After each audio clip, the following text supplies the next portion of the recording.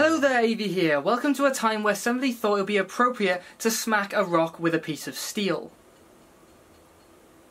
Anyway, welcome to an air-cooled build in the Thermaltake Versa H15. Uh, I'm going to keep this intro nice and short. We'll jump straight into the build. I uh, hope you enjoy the video. Uh, if you do, you like it enough, uh, feel free to check out any of my other content, such as the last air-cooled and water-cooled builds in the top right-hand corner, and uh, feel free to subscribe if you uh, fancy seeing more like it. So let's crack on with the build. I hope you enjoy.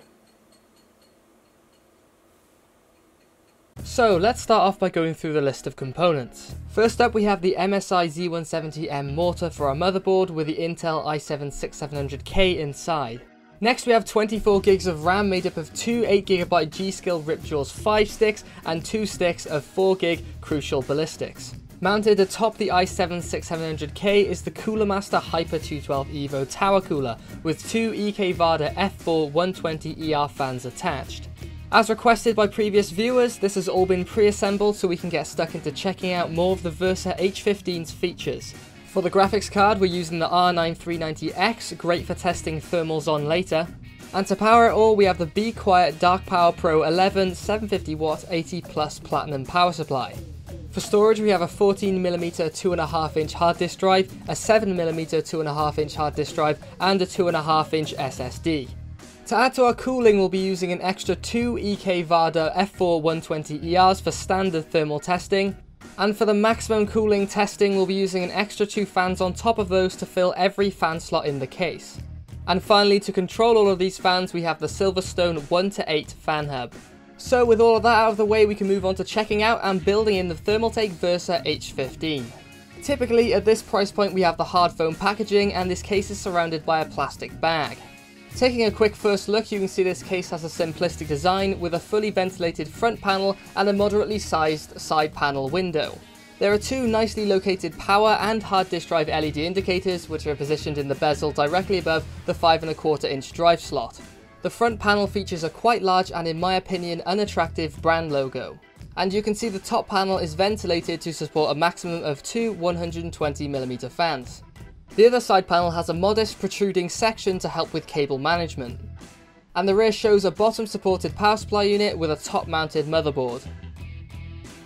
To access the inside and provided screws and extras we need to remove the two thumb screws from the rear.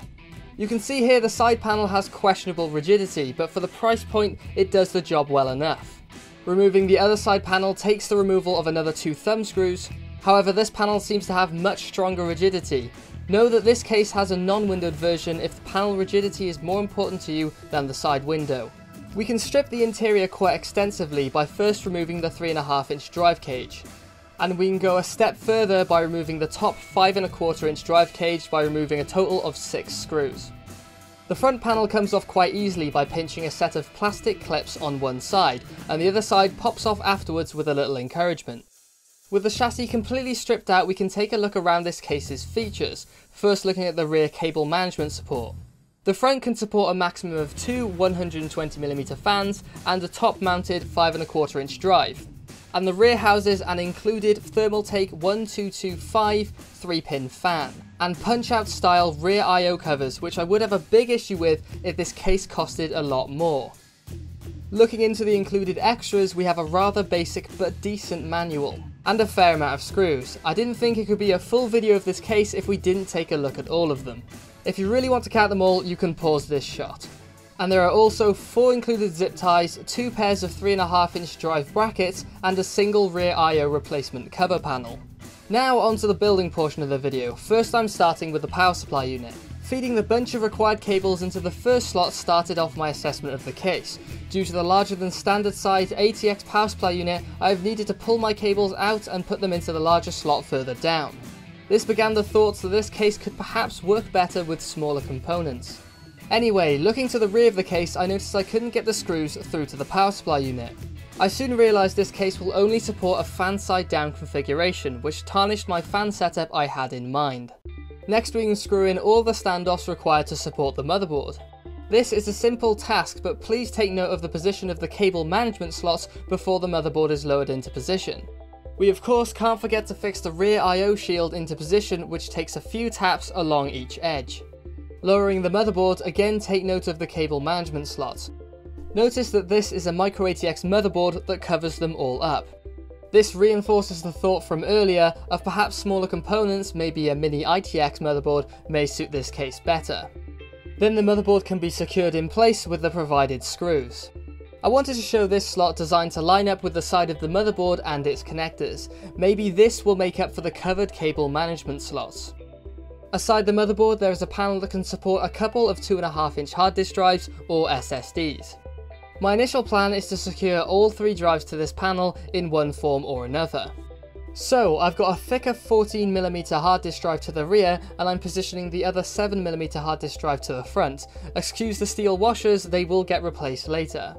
Since the two 2.5 inch slots are taken up, I went for the it's okay to use double sided tape to mount an SSD approach. After connecting the motherboard power connector, it took a long time to figure out a relatively neat setup for the SATA power connectors to the drives. Due to the way that the SATA power connectors connect to the drives, they needed to be looped in a very unusual fashion. In order to get the bulk of the connectors through to the rear of the case, the motherboard had to be unscrewed from the standoffs so it could be shifted across by a few millimeters. The connection of the SATA data connectors to the drives took a slightly more drastic approach. I needed to cut away as much sleeving from a SATA data connector as possible to allow it to fit between all of the other components. You can see compared to a standard connector, the bulk of the plastic has been removed in order to create a connector that has much more reach and is impacted less by the other components which you can see here.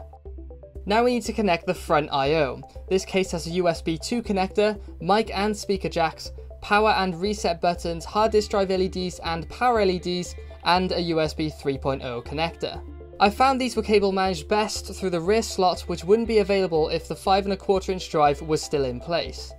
Then down the back tied to the cable management loops available, then looped through the large slot at the bottom, and then finally to their respective connectors. Next we have to install the fans. The front two are extremely simple to connect since the mounting positions are open and accessible. Once in place, the cables can be routed around the back where I've wire tied the fan hub to the 5 and a quarter inch drive slot. The top fans are just as simple apart from the CPU cooler being in the way this time, but it's not too hard to work around. Now for a touch of cable management at the bottom of the case, since there's no basement cover it's good to keep these as neat as you can. So we're heading towards the end of the build. The last major component to install is the GPU. After punching out the PCI Express covers, it didn't take too long to work out that the SSD cannot be located in its current position. So it needed to be relocated around the back of the motherboard tray. It would have been nice to see some screw holes here specific to mounting the drive, but double-sided tape will do. Now we can collision free slot the GPU into position, and secure it into its position with the screws provided.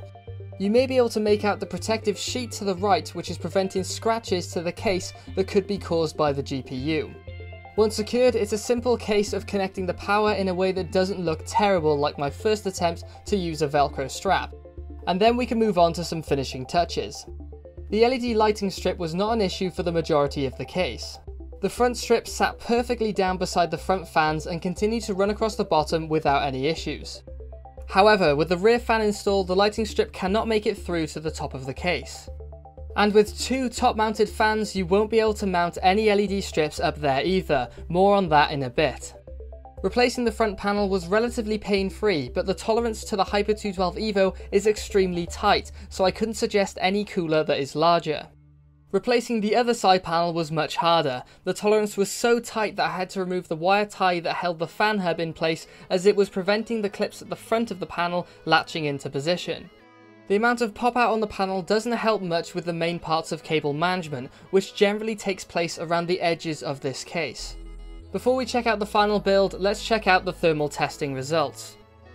With just the two front case fans and a rear case fan, under the testing conditions you can see at the top of the page, the CPU maxed out at 86 degrees Celsius, and the GPU maxed out at 85 degrees Celsius. Compare this to previous cases I've tested and you can see that this stacks up very well. I feel this may be down to a combination of the full front ventilation and the light front foam filtering. However, adding two extra fans to the top seemed to help the CPU reduce its max temperature by over 3 degrees, but the GPU increased its temperature by 5 degrees. I tried both two intakes, two exhausts and one intake and one exhaust for the top two fans, but the later one turned out to be the best result. This increase in GPU temperature is likely caused by the top fans trapping air in the case, creating a lot of turbulence but not a lot of airflow. Remove the top two fans for the best result and then you can replace them with the LED lighting strip that you couldn't place in there earlier. So here's how it compared to the other cases tested so far. You can see it's not performing as well as its previous test. I'm going to stay quiet for a minute or so so you can enjoy some of the visuals. I'll catch you at the end for a wrap up.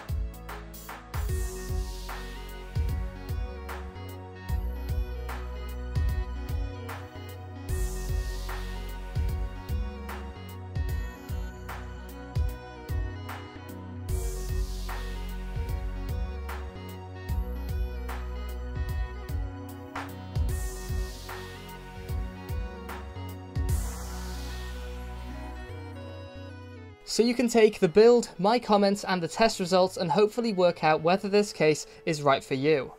I'd like to say thank you so much for checking out this video, I hope you found it very useful and informative. If you enjoyed it enough, please like the video and maybe consider subscribing for future videos like this, but with improvements added from your great feedback. I'll be away for a couple of weeks so the water cooling in this case will be delayed from the usual schedule, but please let me know if you have any cases you'd like to see in future videos and I'll add them to the list. Follow the channel on Twitter or Facebook if you'd like to see early updates on videos, and finally thanks again for checking out the video and I'll catch you next time.